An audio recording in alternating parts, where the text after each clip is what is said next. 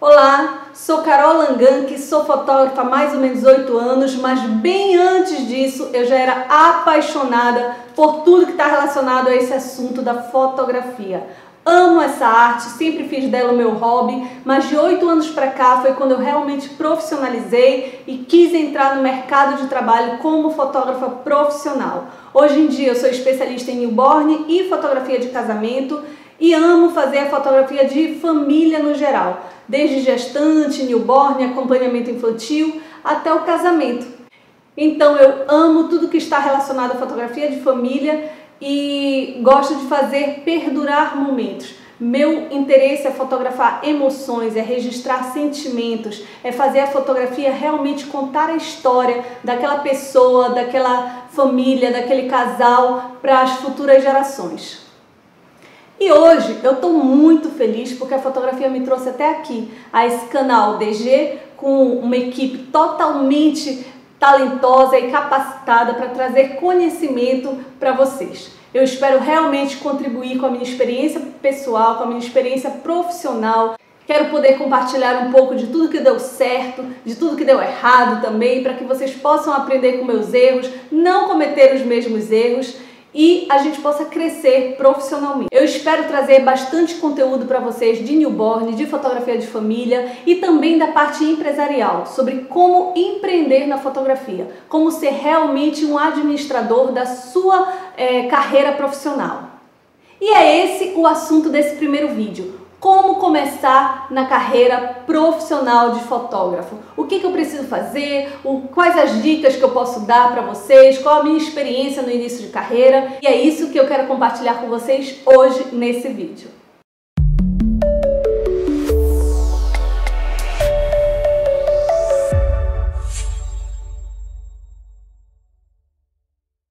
Seis dicas simples para que você possa aprender, absorver, registrar e começar a fazer a sua carreira profissional progredir.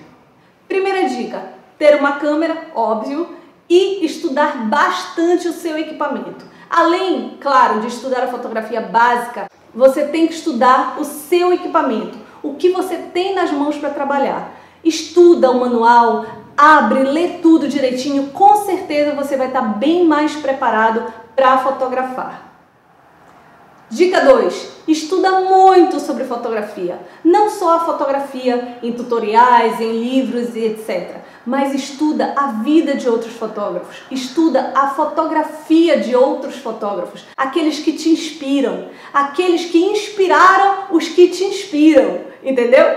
E começa a treinar o seu olhar. Vai para a rua com o olhar de fotógrafo. Esquece o olhar normal. Começa a olhar texturas, linhas, é, geometria do espaço que você tiver, começa a analisar as possibilidades de uma fotografia e aí sim você vai começar a trabalhar o seu olhar fotográfico. Dica 3: crie o seu portfólio.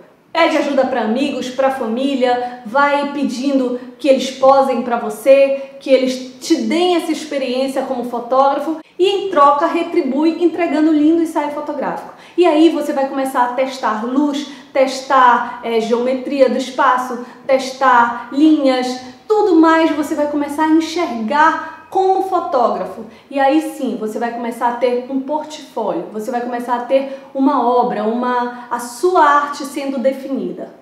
Dica número 4. Já tem um portfólio? Então agora comece a usar as mídias sociais a seu favor. Comece a postar as suas fotos no Instagram, no PicArt, no Facebook, em qualquer rede social é de graça e você pode crescer muito com os comentários das pessoas, com as visualizações. Pede dicas, pede opiniões de amigos seus, de pessoas próximas e não liga para opiniões destrutivas. Eu sempre falo que arte é arte. Ninguém pode julgar a minha arte. Se eu gosto de uma fotografia mais fria, se eu gosto de uma fotografia mais quente, ninguém pode julgar a arte de ninguém. Então fecha ouvidos para tudo que for crítica não construtiva absorve aquelas que vão te ajudar a evoluir, procura pessoas que entendam e que possam te ajudar de alguma forma e busca o teu olhar, busca o teu olhar fotográfico e define o teu estilo. É isso que vai te fazer diferente de outros tantos fotógrafos. É isso que vai fazer o sonho de todo fotógrafo se realizar, que é quando uma pessoa vê a foto e fala: "Uh, essa foto é da Carol". Entendeu? A gente precisa definir o nosso estilo no meio de tantos fotógrafos. Não precisa ser totalmente diferente, não precisa ter uma coloração diferente, nada disso. Busca o que agrada o teu olhar, o que agrada o teu coração. Busca o teu caminho e com certeza vai agregar pessoas que correspondam a isso, que se agradem vendo as suas fotos, vendo a sua arte. Então é isso. Arte é arte, cada um tem a sua liberdade para se expressar, cada um tem o seu olhar e você vai buscar o seu, sem olhar para o outro. Busca o seu. Dica número 5. Crie metas. Eu sempre trabalho com metas diárias, semanais, mensais e anuais. Eu acredito que assim a gente consegue evoluir de forma mais rápida, focado em metas. Quanto mais você alcança suas metas, aí sim você começa a traçar novas metas. E isso vai te ajudar a crescer tanto profissionalmente quanto na qualidade do trabalho que você vai desenvolver. Como meta diária, por exemplo, eu sempre tenho aprender com um tutorial do YouTube, estudar uma fotografia, ver o que eu poderia fazer melhor ou ter um ensaio editado por dia. Essas são algumas das minhas metas diárias. Metas semanais. Quantos ensaios você quer ter por semana? Trace as suas metas semanais, tanto baseado no seu orçamento quanto no que você investiu, e aí sim você vai poder ver o número de trabalho que você quer ter por semana e o número de clientes que você quer atender, que você quer visitar, é, lojas especializadas, no meu caso, por exemplo, em gestante ou em bebê, que eu quero visitar para poder conversar, explicar o meu trabalho, para que eu possa atingir a clientela daquela loja. Então, a gente tem que ter tudo isso bem definido. Quantos ensaios por semana, quantos clientes eu vou visitar, quantas pessoas eu posso atender no meu escritório. Então, tudo isso você traça como metas semanais. Minhas metas mensais.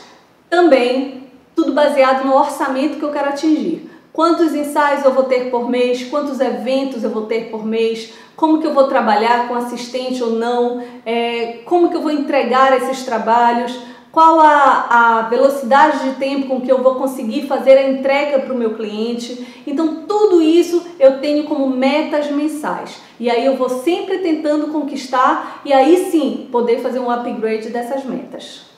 E as metas anuais são as mais difíceis, por isso que eu falo, comecem pelas diárias e vão crescendo. As minhas metas anuais sempre são trocar um equipamento, trocar uma lente, fazer um upgrade no meu equipamento e tudo isso vem desde as metas diárias. Quando a gente começa a ver as metas anuais como consequência das metas diárias, tudo flui melhor, tudo flui mais fácil e a gente consegue atingir os nossos objetivos com maior facilidade.